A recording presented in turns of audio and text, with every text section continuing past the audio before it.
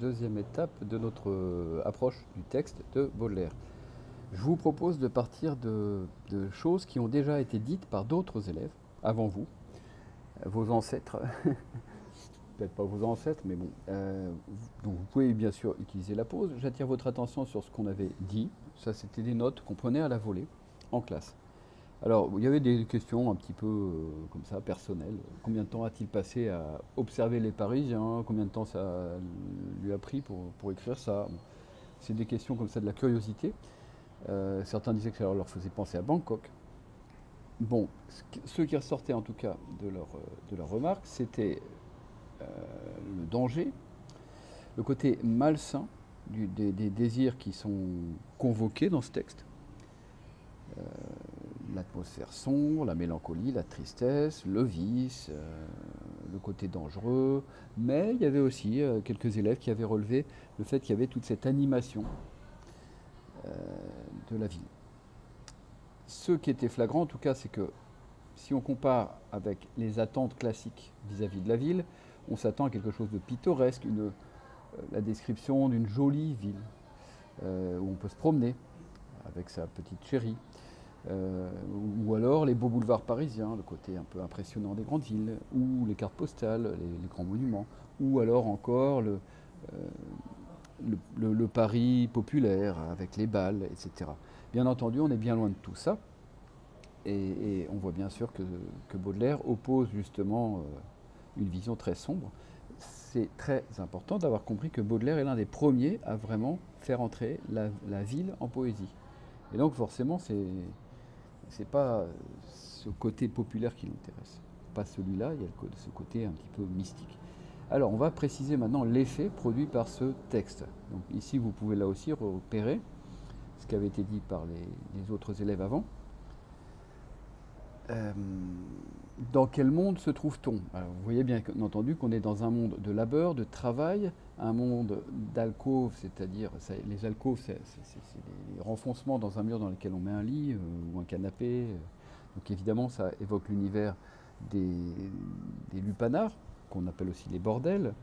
La rue, ce qu'on qu y observe, le dehors, euh, est associé à, à la pourriture, mais il y a aussi tous ces lieux de distraction, l'hôpital. Enfin, on voit, on voit défiler, en fait, euh, pas spécialement les grands monuments, mais on voit surtout euh, défiler la mort, le labeur, le, vice, le vol, la maladie.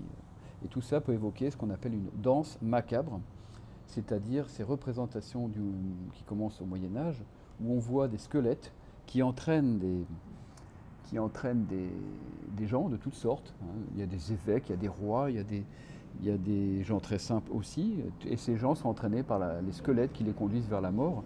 C'est une sorte de danse qui est là pour nous rappeler que, quel que soit le statut social, eh bien, la porte de sortie sera toujours par la mort.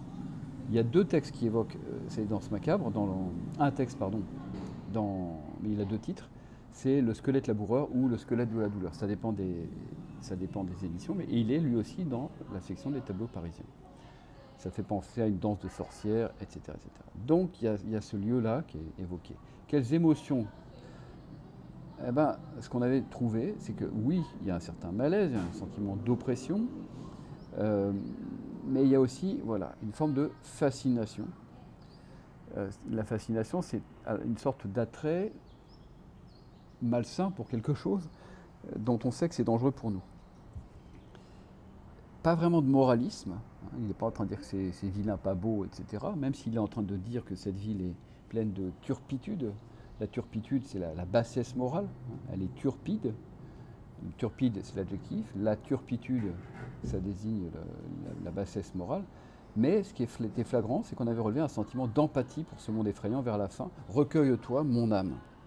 On est invité à se recueillir et à contempler ce monde malsain. Donc c'est une émotion qui mêle le malaise et la contemplation. Et ça, c'est ce qu'il faudra faire ressortir dans notre problématique. L'argumentation, bien entendu, il n'y a pas vraiment d'argumentation qui nous dirait autre chose que ce monde est vicié, mais il n'y a pas d'invitation à changer de comportement. C'est plutôt une description. La réflexion, bien sûr, doit se, se placer dans le cadre de cette dédicace au lecteur. Le premier poème, il faut vous rappeler quand il termine en disant hypocrite lecteur, mon semblable, mon frère. Cette invitation de la préface, du premier poème, est, ici tout à fait pertinente. Voilà, ça c'est le reste. Alors, on avait formulé une problématique. Hein. Pour formuler une problématique, voyons en quoi on s'écarte des stéréotypes.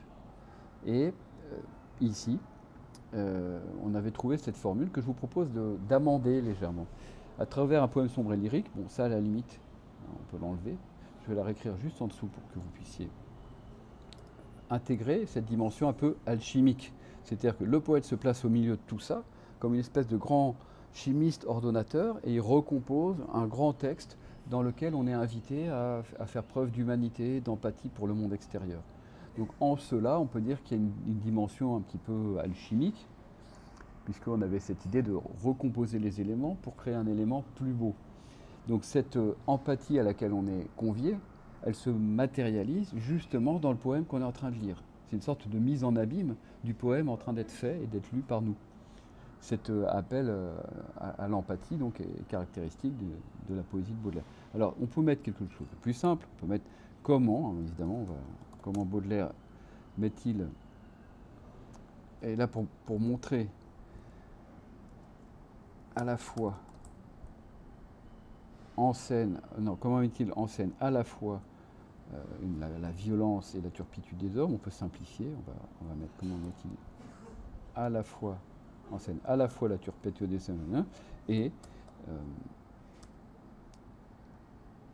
et l'empathie pour eux. Donc à la fois on, voit ces hommes se corrompre et en même temps on essaie de les rejoindre et de les contempler. On pourra la reformuler un peu mieux, mais voilà donc la problématique que je vous propose pour ce texte. À vous maintenant, vous avez donc eu deux vidéos. Je vous propose maintenant d'essayer de faire vos propres relevés, de les proposer.